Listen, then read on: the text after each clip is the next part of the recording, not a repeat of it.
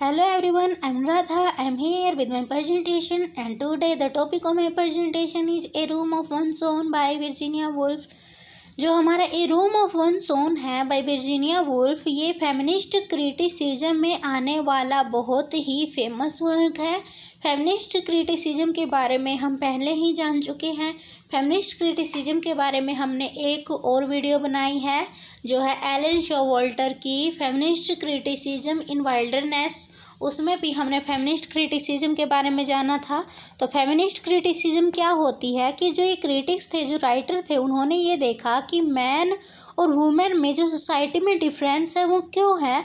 और वुमेन का, उनका वुमेन होने के कारण, उनके बायोलॉजिकल डिफरेंस के कारण सोसाइटी में उन्हें किस तरह से इनइक्वालिटी का सामना करना पड़ता है? उन्हें पॉलिटिकल इकोनॉमिक एजुकेशन इनमें जो पार्ट्स हैं, इनमें वुमेन को मैन से पीछे माना जाता है तो उसका क्या होता है? एक्सप्लोइटेशन होता है। तो इन राइटर्स ने इस, जो सोसाइटी में इनइक्वालिटी है, उसके अगेंस्ट आवाज़ उठाई थी। जिसे हम फेमिनिस्ट क्रिटिसिज्म के नाम से जानते हैं। तो हमारा जो a room of one's own है बाई वर्जीनिया वुल्फ ये भी फेमिनिस्ट क्रिटिसिज्म में आने वाला बहुत ही फ़ेमस वर्क है, क्योंकि इसमें भी उन्होंने a room of one's own में ए रूम को एक सिंबल के रूप में माना है। A room of one's own यहाँ पर इसका मीनिंग है कि एक औरत का भी अपना रूम होना चाहिए मतलब एक औरत को भी अपने अधिकार मिलने चाहिए। इसके और भी मीनिंग कौन से निकलते हैं? यहाँ पर रूम का मीनिंग उसकी इकोनॉमिक जो फ्रीडम है, उससे लिया जा सकता है। और सेकंड जो इसका, ए रूम है, इसका मीनिंग उसके क्रिएटिव पावर से लिया गया जा सकता है कि उसमें क्रिएटिव पावर होती है, उसको दबाना नहीं चाहिए, उसको अपने क्रिएटिव पावर को निखारने का मौका मिलना चाहिए। उसने जो ये क्रिएटिव पावर है, उसके लिए ज्यूडिथ शेक्सपियर का भी एक एग्ज़ाम्पल दिया है, जो कि इमेजिनरी सिस्टर शेक्सपियर की, जो कि उसके अंदर भी क्रिएटिव पावर थी, वो अपने भाई की तरह ही इंटेलिजेंट थी। उसके अंदर भी क्रिएटिविटी थी। लेकिन वह अपने भाई की तरह हम उसको नहीं जानते, वो इतनी फ़ेमस नहीं हुई, बल्कि उसने सुसाइड की थी। तो उसने सुसाइड क्यों की थी, वो हम इस ऐसे को पढ़ने के बारे, बाद हम उसको हम पता करेंगे। तो हमारा जो a room of one's own है, ये हमारे फेमिनिस्ट क्रिटिसिज्म में ये बहुत ही फ़ेमस वर्क है। और जो हमारे, हमें a room of one's own के बारे में जानने से पहले हमें ये जानना होगा कि फेमिनिस्ट क्रिटिसिज्म कैसे शुरू हुई थी, इसका डेवलपमेंट कैसे हुआ था। तो इसके बारे में भी हमें जानना बहुत ही ज़रूरी है, क्योंकि अगर आप किसी चीज़ को बारे में पढ़ते और उसके बेस के बारे में नहीं जानते तो आपको वो बहुत ही अजीब लगेगा। तो हमें क्या है, उसके जो फेमिनिस्ट क्रिटिसिज्म से रिलेटेड और वर्क है, उनकी भी इंफॉर्मेशन होनी चाहिए। तो हमारे फेमिनिस्ट क्रिटिसिज्म से रिलेटेड जो दूसरे वर्क हैं, वो कौन से हैं? Mary Wollstonecraft's a vindication of right of women ये 1792 में पब्लिश हुआ था। Mary Wollstonecraft a vindication of right of women यह 1792 में पब्लिश हुआ था। John Stuart Mill the subjection of women 1869 जो जॉन स्टुअर्ट मिल है, उसका सब्जेक्शन ऑफ़ वुमेन है, ये 1869 में पब्लिश हुआ था। वर्जीनिया वुल्फ का हमारा जो ये ऐसे हम करेंगे आज a room of one's own ये 1929 में पब्लिश हुआ था। और साइमन डिबोर का द सेकंड सेक्स, ये 1949 में पब्लिश हुआ था। केट मिलेट का सेक्सुअल पॉलिटिक्स और ऐसे, ये हमारा जो ऐसे है, अब हमारा जो मेन ऐसे है, उसके बारे में हम जान लेते हैं। तो हमें इस ऐसे को जानने से पहले जो हमारी हिस्ट्री है, जो हमारा फेमिनिस्ट क्रिटिसिज्म है, उसके बारे में जाना। तो इसके फ़ेमस राइटर हैं Mary Wollstonecraft John Stuart Mill Virginia Woolf Simone de Beauvoir Kate Millett और इनके जो वर्क हैं, उनके बारे में भी हमें पढ़ना है। तो अब हमारा जो ऐसे है ए रूम ऑफ़ वंस इसको वंस ऑन इसके बारे में जानते हैं।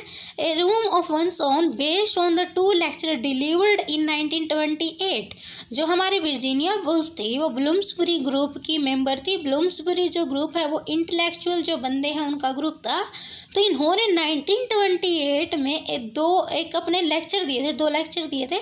उसने दो लेक्चर दिए थे। तो ये हमारा a room of one's own जो उसके लेक्चर थे, उनके ऊपर बेस्ड था और ये लेक्चर कौन से थे उनके बारे में भी जानेंगे।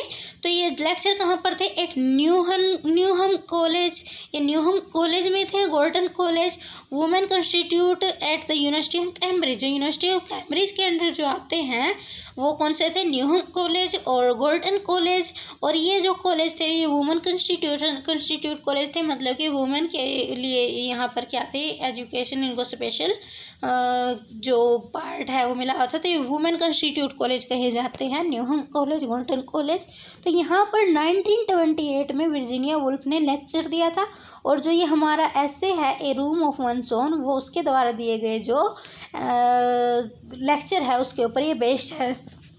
अब इसमें वर्जीनिया वुल्फ ने इमेजिनरी नरेटर दिए हैं। जैसे कि हम हिंदी में वैसे नहीं नाम लेते, सीता, गीता, ऐसे नाम ले लेते हैं तो यहाँ पर उसने इमेजिनरी नरेटर बोला कि आप कोई भी नाम ले सकते हो, कि मैं उसको एड्रेस कर रही हूँ, उसको एड्रेस कर रही हूँ तो यहाँ पर नरेटर दे रखे हैं तो वो इमेजनरी है। तो कौन कौन है Mary Burton Mary Seton Mary Mary Carmichael और एनी अदर नेम आप इसको किसी भी नाम से जान सकते हो। तो उसने ये कहा है कि ये नाम नाम हैं, इनको उसने इमेजनरी नेम कहा है। तो Mary Burden, Mary Seton, Mary Carmichael, इनको आप किसी भी नाम से जान सकते हो। और फिर वो जो हमारे ये अपना जो वर्क है, उसको शुरू कर देती है और फिर उन्होंने जो अपने जो व्यूज़ देने थे, वो देने शुरू कर देती है। तो इसमें जो वर्जीनिया वुल्फ है, उसने जो वुमेन है, उसकी इक्वालिटी के ऊपर, उसकी इक्वालिटी के लिए कहा है और उन्होंने ये कहा है कि जो हमारी सोसाइटी है, उसमें जो इनक्वालिटी फैली हुई है, वो नहीं होनी चाहिए। जो हमारी सोसाइटी में जो इनक्वालिटी है, वो नहीं होनी चाहिए। जो वुमेन है, वो मैन के जैसे इक्वल है और उन्होंने अपने व्यूज़ रखने के लिए अलग अलग एग्ज़ाम्पल दिए हैं और उन एग्ज़ाम्पल के साथ ही अपने जो थॉट्स हैं, अपने जो व्यूज़ हैं फेमिनिस्ट क्रिटिसिज्म से रिलेटेड उनको प्रेजेंट किया है। तो इसमें उन्होंने जो इमेजिनरी नेम दिए हों Mary Burton Mary Seton Mary Carmichael और एनी अदर नेम कोई भी नाम आप ले सकते हैं। तब वो टर्निंग टू द हिस्ट्री वो हिस्ट्री से लेती है कि हमारे जो लिटरेचर उसका डेवलपमेंट कैसे हुआ है तो हिस्ट्री से लेती है। तो वो सबसे पहले यहाँ पर वो वो एक हिस्ट्री एक हिस्ट्री की बुक है, उसका भी वर्णन करती है। और फिर वो जो हमारे शेक्सपियर है, उसके बारे में बताती है कि जो हमारे शेक्सपियर हैं, वो बहुत ही फ़ेमस राइटर हैं और उनको हम सभी जानते हैं। लेकिन वो कहती है कि जो शेक्सपियर है, उनकी भी एक इमेजिनरी सिस्टर थी। उसने कहा कि शेक्सपियर की भी सिस्टर थी, लेकिन रियल में शेक्सपियर की सिस्टर के बारे में नहीं है, बल्कि उसने इमेजिनरी अपने इमेजिन से, अपने माइंड से शेक्सपियर की सिस्टर का वर्णन करके उसने उन लड़कियों के बारे में बताया है, जिसमें क्रिएटिव पावर होने के बाद भी उन्हें सोसाइटी में दबा दिया जाता है। तो वो हम, जो हमारी हिस्ट्री है turning to the history history से अपने जो वर्क है, उसको बताती है फिगर ऑफ़ जूडिथ शेक्सपियर तो वो कहती है कि आप जूडिथ शेक्सपियर को ले सकते हैं। वो भी अपने भाई जितनी ही इंटेलिजेंट थी। उसमें भाई जितनी ही क्रिएटिव पावर थी, वो भी अपने भाई की तरह ही फ़ेमस होना चाहती थी। लेकिन उसका फैमिली ने सपोर्ट नहीं किया। उसका जो सोसाइटी है, उसने सपोर्ट नहीं किया। तो उसने, वो थी तो वो अपने भाई जितने ही इक्वल तो एक तरफ़ तो उसका भाई था जो बहुत फ़ेमस हो गया, जो विलियम शेक्सपियर है, वो बहुत फ़ेमस हो गया। और दूसरी तरफ़ जो हमारे वर्जीनिया वुल्फ थी सॉरी जो हमारी जूडी शेक्सपियर थी, वो क्या थी? उसको उसको क्या है? दबा कर रखा गया। वो अशेम्ड फील करती है। तो क्या है? ये जो जूडी शेक्सपियर है, उसके बारे में लिखती है। और जो जूडिथ शेक्सपियर है, वो अपने फेम लेने के लिए वो घर से बाहर निकल जाती है, वो भी अपने वर्क को पब्लिश करना चाहती है तो वो एक इंसान के, एक बंदे के कांटेक्ट में आती है, जो उससे शादी करने का शादी करने के लिए कहता है कि मैं तुझसे शादी करूँगा, लेकिन वो उससे शादी नहीं करता। Director and she was raped और वो वो फिर वो सोसाइटी के डर की वजह से सुसाइड कर लेते शी कमिट्स सुसाइड तो यहाँ पर ये बताया गया है कि जो जूडिथ शेक्सपियर है, वो भी इक्वली इक्वली इंटेलिजेंट थी, लेकिन उसको अपने भाई जितनी पोजीशन नहीं मिली, बल्कि उसे सुसाइड करनी पड़ी थी। और ये क्यों करनी पड़ी थी? क्योंकि मेन मैन मेड जो सोसाइटी है, इसके कारण करनी पड़ी थी। और ये जूडी शेक्सपियर का उन्होंने बहुत सारी उन लड़कियों के लिए, उन औरतों के लिए उन्होंने इस जूडी शेक्सपियर को प्रेजेंट किया है, जो अपने फेम को नहीं प्राप्त कर सक, कर पाती और उन्हें क्या है सुसाइड करनी पड़ जाती है या अपने सोसाइटी के अकॉर्डिंग खुद को ढालना पड़ जाता है। तो ये उन सारी के सारी जो औरतें हैं, जिनमें क्रिएटिव पावर होने के बाद भी दबा दिया जाता है, उनके लिए जो हमारा जूडिथ शेक्सपियर है, उसका एग्ज़ाम्पल लिया गया है। फिर वो theme the importance of money जो उसकी थीम है, ये हमारा जो नॉवल है, इसमें जो थीम है इम्पोर्टेंस ऑफ़ मनी इसका मतलब है कि जो वुमेन है, उसको इकोनॉमिक फ्रीडम मिलनी चाहिए। तो इसकी जो थीम है, वो है importance of money economic freedom मिलनी चाहिए। और क्या है फेमिनिस्ट क्रिटिसिज्म फेमिनिस्ट क्रिटिसिज्म के बारे में मैंने पहले ही बता दिया है तो वुमेन को राइट उनको क्या है राइट मिलने चाहिए। और जो हमारी मैन मेड सोसाइटी है, उसमें जो जो पेट्रियाकल सोसाइटी है, उसमें जो वुमेन है, उसको क्या मिलना चाहिए? राइट मिलने चाहिए। और इसमें जो वुमेन में जो जेंडर इनक्वालिटी है, वो भी दूर होनी चाहिए। तो उसने एग्ज़ाम्पल भी लिए हैं, उसने एग्ज़ाम्पल कहाँ से लिए हैं? उन्होंने एक एग्ज़ाम्पल कैट कैट का एग्ज़ाम्पल लिया है और जो कैट का एग्ज़ाम्पल है, ये उन्होंने एक ऑक्सबोर्ड जो हमारी ऑक्सब्रिज यूनिवर्सिटी है, उसके बारे में बता कर लिया है। ऑक्सबोर ऑक्सब्रिज जो यूनिवर्सिटी है, उसमें मैं, उसमें जो गर्ल्स हैं और बॉयज़ हैं, उनकी अलग अलग एजुकेशन का सिस्टम बताया गया है। जो हमारे वर्जीनिया वुल्फ है, उसने ये कहा है कि जो ऑक्सब्रिज यूनिवर्सिटी है, उसमें जो वुमेन है और जो मैन है, उनमें इक्वालिटी नहीं है, बल्कि उनमें इनक्वालिटी है।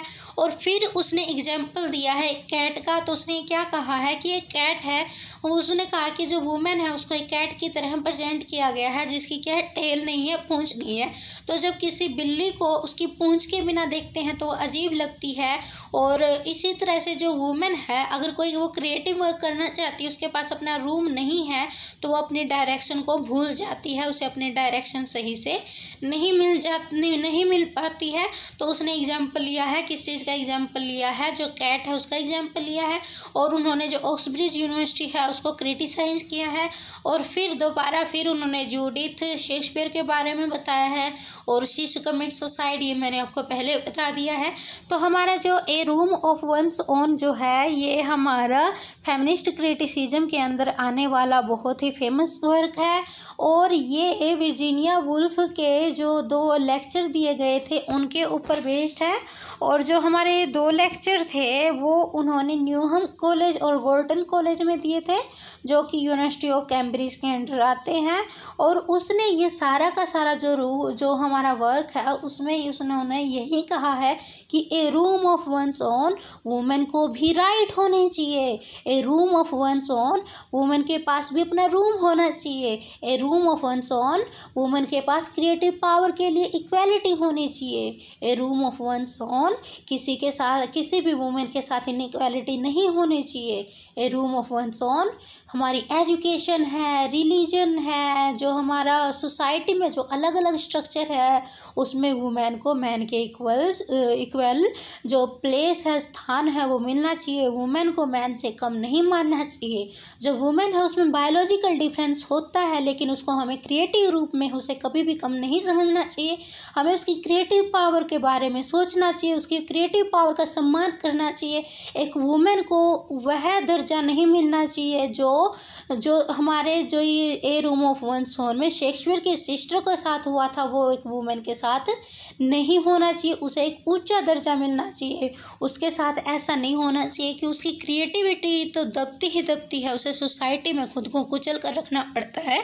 तो ये रूम ऑफ़ वन सोन किसी भी वुमेन को अपना एक रूम होना चाहिए, उसकी अपनी फ्रीडम होनी चाहिए, उसकी फ्रीडम को कभी भी तोड़ना नहीं चाहिए। और यही हमारे जो वर्जीनिया वुल्फ है, उन्होंने अपने ऐसे रूम ऑफ़ वन सोन में हमें कहने की कोशिश की है कि हमारे जो वुमेन की जो क्रिएटिव पावर है, उसको क्या है मैन के इक्वल मानते हुए उसे इक्वलिटी का दर्जा देना चाहिए, उसे राइट देने चाहिए। और उसे इकोनॉमिक रिलीजियस लीगल किसी भी तरह से मैन से पीछे नहीं रखना चाहिए। तो हमारी जो ये वीडियो थी, वो हमारे जो जो हमारे वर्जीनिया वुल्फ का जो ऐसे था a room of one's own उसके ऊपर बेस्ड है और ये फेमिनिस्ट क्रिटिसिज्म के अंडर आता है ये वर्क तो हमें इसको फेमिनिस्ट क्रिटिसिज्म से रिलेटेड करके इस वर्क को समझना होगा। Thank you